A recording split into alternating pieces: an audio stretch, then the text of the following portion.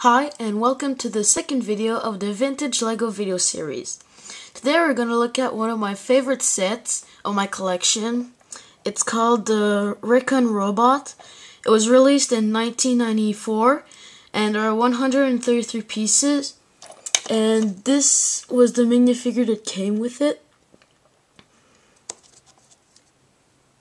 And um, the theme was LEGO System Space Spyrius. So here, I find he's really cool. Here he's got six wheels where he can roll. And here he's got some sort of place where you can put stuff in it. And also here there's a Spyrius case that opens up. And, he, and the arms can move like this and the hands can open and the head can turn. One of the things that I really like is here where the minifigure passenger sits.